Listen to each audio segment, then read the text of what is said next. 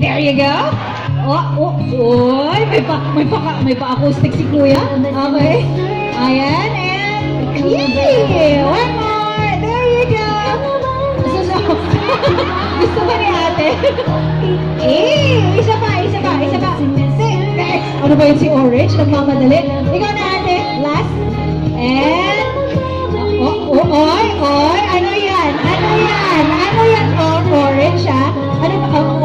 Naku naman si Orange. Oh, ano ba kasi, ano ba kasi? Eh, naku naman talaga. Oh, orange. Ayan, lapit ang cheeks, lapit po pisngi. There you go! Palakpakan natin natin mga ladies, mga kamigan. Palakpakan po natin. Thank you so much, girls. Thank you, thank you, thank you, thank you. Ah, maraming salamat po. Aba, tuwang-tuwa ka na naman ngayon, Brad, ah. May nagustuhan ka ba doon sa magagandang babae na yon? May nagustuhan ka? Ha? May nagustuhan ka? Oh, oh.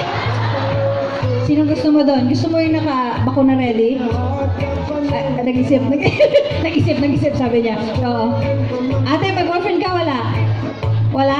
Uy, swerte ka, Brad. Pero ang layo eh. Taga Davao Oriental. Okay lang, sasama ka doon sa Davao Oriental? Ay, hindi.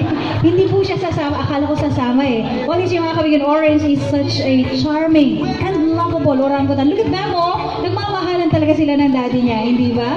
Oh, napaka-sweet niya talagang dalawa. Well, anyway, mga kabigyan, on a more serious note, alright? Orange here, along with our animal ambassadors. We call them animal ambassadors because they represent their species to send the message to everybody. First, do not destroy their natural habitat. Huwag nating sirain ang kanilang tirahan. Two, stop illegal hunting. Huwag naman natin silang papatayin. Third, stop illegal trade.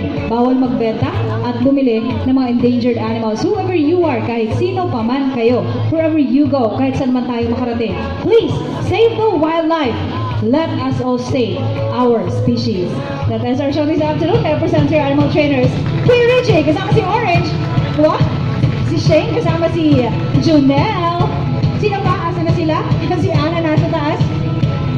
We are Davao Crocodile Park, working with nature for a better future. Thank you so much everybody. See you next time. Bye! Maraming salamat po sa inyo lahat.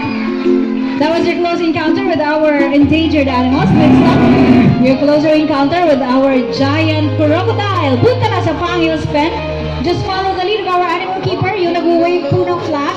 Dadalhin niya kayo sa inyong susunod na show ngayong hapon. Giant crocodile encounter